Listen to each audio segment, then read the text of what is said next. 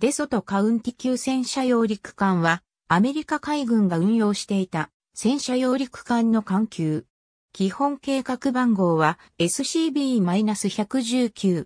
本級は LST-19 以降アメリカ海軍が整備してきた艦種門飛方式 LST の最終発達型である。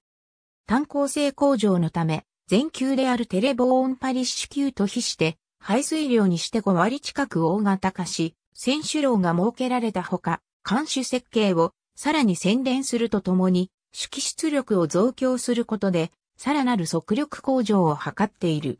主出力1万5000馬力を確保するため、ディーゼルエンジン6機を減速機で2軸の推進機にまとめる、マルチプルディーゼル方式が採用された。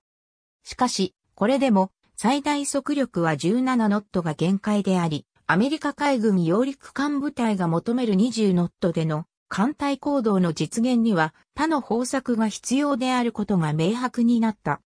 車両甲板は全長88メートル弱で1両あたり75トンまでの車両に対応でき、抽選車23両、兵員634名を含めて500トンの搭載能力があった。また、テレボーンパリッシュ級と同様に上陸用終点用のダビットを搭載を両舷に機ずつ設置していたのに加えて、上甲板には、汎用揚陸艇なら1隻、ヘリコプターなら5機まで搭載することができた。